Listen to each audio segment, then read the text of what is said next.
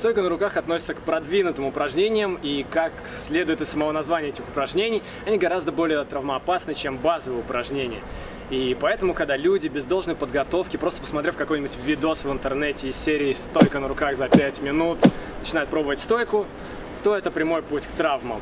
И каждое видео про продвинутые упражнения я буду начинать с того, какие основные травмы можно получить, если начинать делать это упражнение, не имея должной базы физической.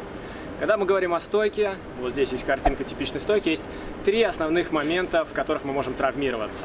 Во-первых, это запястье. Если вы посмотрите на рентген вот этой вот части запястного сустава, да, запястья, кисти, вы увидите огромное количество костей и когда вы становитесь на руки, вы давите всем своим телом на вот эту вот маленькую площадь. Если она не обладает должной силой, чтобы стабилизировать, чтобы распределять нагрузку, чтобы балансировать вашим весом, то, ребятки, очень плохие новости. Можете погуглить, что такое гигрома, и я уверен, что вам не захочется его получить. Поэтому, если не можете отжаться от пола 50, а лучше 100 раз, даже не пытайтесь сделать стойку. Серьезно, ваши запястья будут вам очень благодарны, если вы не будете делать такую глупость. Следующий момент, связанный со стойкой, это плечи. Плечевой сустав, в принципе, один из самых подвижных и самых травмоопасных в нашем организме. И когда вы делаете стойку, и у вас нет сил для того, чтобы контролировать свое тело, то вас будет шатать влево, вправо, вперед, назад, вы будете падать, скорее всего, будете падать на плечи,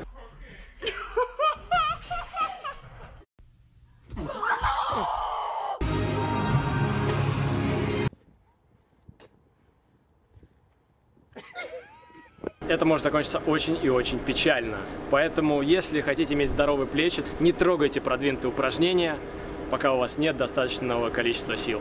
Ну и третий травмоопасный момент – это поясница. Нижняя часть спины, спина. Когда вы делаете стойку и у вас нет сил, у вас возникает вот этот вот адский прогиб в спине, который вызывает очень неестественное искривление вашего позвоночника, фактически выдавливающее межпозвонковые диски из их естественного положения. Стойка была такая кривая, реальный банан.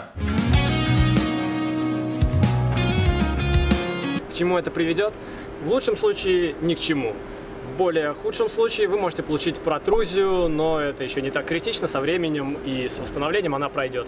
В самом худшем случае вы получаете межпозвоночную грыжу, то есть разрыв фиброзного кольца, и эти штуки не восстанавливаются никогда в жизни вообще. Если вам оно не надо, то и не надо трогать стойку и пытаться ее делать вот с таким прогибом. А чтобы этого не происходило, сейчас я расскажу, на что нужно обращать внимание и какие ошибки не нужно допускать при изучении стойки на руках. Итак, разбор ошибок мы тоже начнем по порядку, то есть если вот мы представляем стойку, начинать будем с нижнего уровня, с э, запястья и кистей. Ошибка, которую многие допускают новички, это непонимание того, как происходит баланс. То есть, когда вы ставите руку на пол, очень часто новички пытаются опереться вот на эту часть, вот на эту часть руки, то есть на ладонь. Они ставят ее на пол и пытаются опереться на нее. Но здесь нет пространства для баланса вы, в принципе, не особо можете подвигать ладонью и сбалансировать стойку. Правильное распределение веса вам нужно сделать так, чтобы ваш вес находился вот в этом районе, вот в этой части руки. То есть, когда вы ставите, во-первых, руку на пол, вы ставите ее не вот так, вы ставите растопыренные пальцы, чтобы пальцами можно было балансировать. Видите, какие они подвижные? Очень легко балансировать. И, во-вторых, вес должен находиться не вот в этой части ладони, а вот здесь. Тогда вы можете, если вас будет заваливать вперед, вы можете надавить чуть-чуть назад. Если вас заваливает назад, вы наоборот можете вывести руку немножко вперед и балансировать своим телом. Если же у вас вес здесь, то все, у вас некуда, у вас рука уперлась, и вы падаете вниз. Вторая ошибка, связанная с первой, когда вы не понимаете, как распределить вес, вы начинаете пытаться балансировать с помощью других вещей. И опять же, если посмотрите на людей, которые только начинают учить стойку, они делают заход в стойку, начинают терять баланс, начинают передвигать руками и пытаться его восстановить.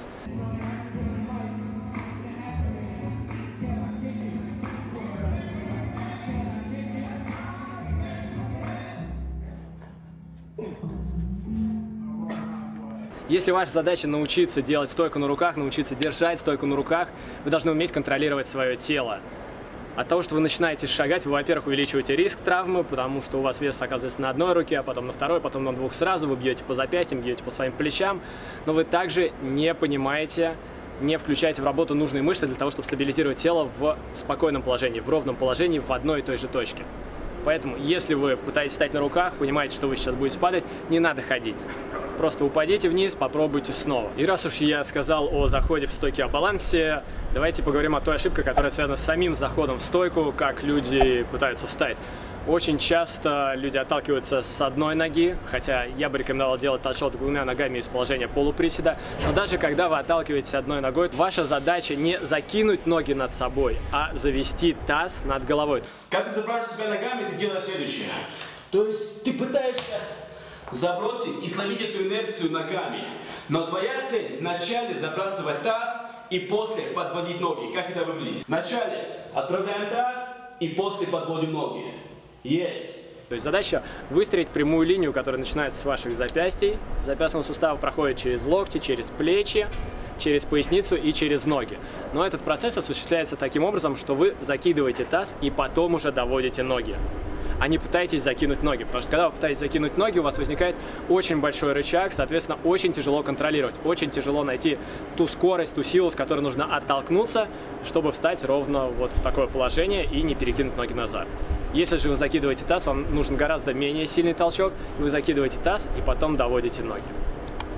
Попробуйте два этих варианта, вы поймете, о чем я говорю, это очень быстро учится, но качество вашей стойки начнет улучшаться буквально на глазах. Есть еще один момент со стойкой, который мне не нравится больше всего и который связан с тем, что люди неправильно подходят к процессу изучения стойки. Это прогиб, о котором я уже говорил, среди тех опасностей, которые могут нанести серьезный урон вашему организму.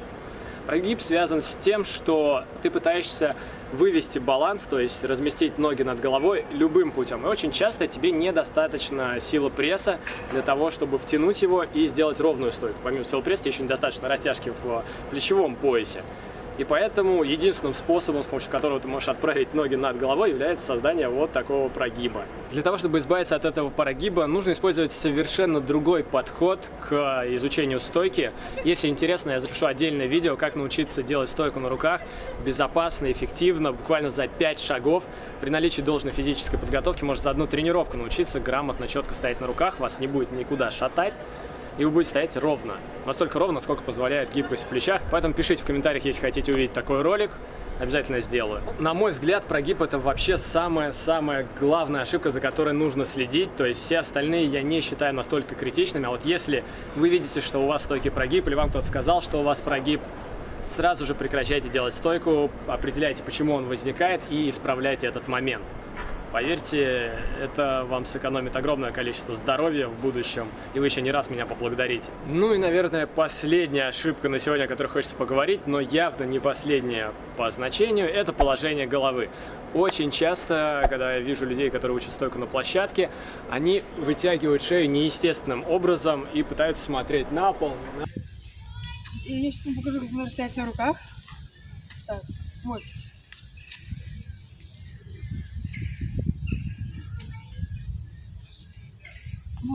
За счет чего это происходит? Во-первых, они не чувствуют свое тело, не чувствуют мышцы и сразу теряют баланс, если не видят пол. Кстати, это отличный способ э, увидеть человек э, новичок или человек продвинутого уровня стойки. Все зависит от того, куда он смотрит. Если он может спокойно стоять на руках и смотреть вдаль, а не в пол, не вниз, не на руки, то у него намного более высокий уровень, потому что он чувствует, как работает его тело. Ему не нужна визуальная картинка.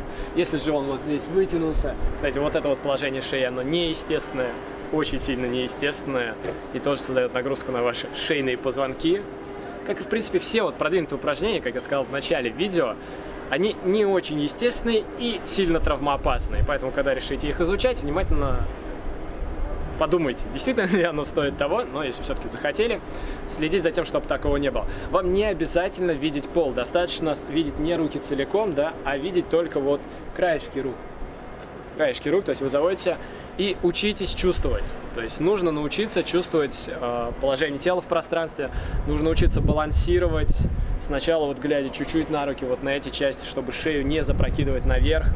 Очень в этом смысле помогает выполнение стойки у стены, когда вы делаете стойку лицом к стене, забираете по ней ногами и стоите вплотную к стене. То есть вот у нас стена, вот вы, и вот вы стоите, вот носочками касаетесь, чуть-чуть толкнулись и стоите вплотную к стене. Таким образом, во-первых, вы не сможете сделать прогиб, в поясничном отделе, потому что вы тогда упрете животом в стену. Во-вторых, вы будете учиться стоять ровно и балансировать. И в таком положении вы можете смотреть на стену, а не смотреть на руки. И учиться чувствовать, запоминать ощущения в мышцах, для того, чтобы смогли потом воспроизвести этот баланс уже без стены. Задача этих видео показать вам те ошибки и те опасности, которые кроются в продвинутых упражнениях. Это не значит, что их не надо выполнять, это значит, что надо включать голову, когда вы учитесь их делать, для того, чтобы не получить травм и получить от упражнений максимальную отдачу. Большое спасибо всем тем, кто поддержит нас на платформе Patreon. Мы накопили денег на небольшой подарок Саше. Да, наш объектив откладывается, зато Саша будет очень рад, вы узнаете об этом в одной из ближайших записей на сайте. Вот, большое спасибо за то, что вы нас поддерживаете. Обожженную кусачим пламенем ладонь Пытаюсь удержать как можно дольше над огнем Если в итоге не смогу не одернуть ее Значит это не мое